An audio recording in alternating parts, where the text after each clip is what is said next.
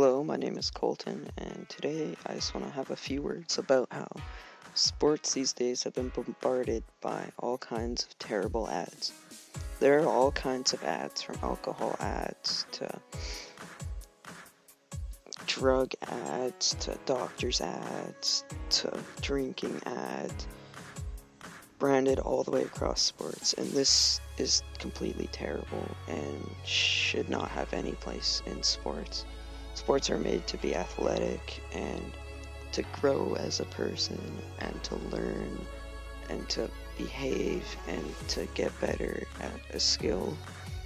And they're meant to have fun. And as soon as they start bombarding them with all these alcohol ads and crazy kinds of ads to make you feel like you need to drink those just to be cool or a part of something, then it's really just gonna it's going to start to hurt the sport, and I really don't want to see that happen.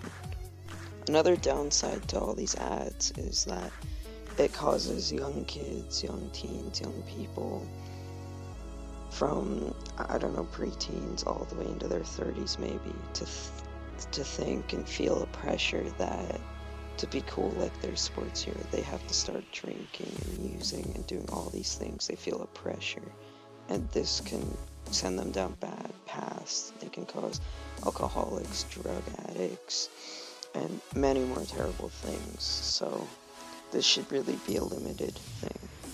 Thanks for listening. My name's Colton, and goodbye.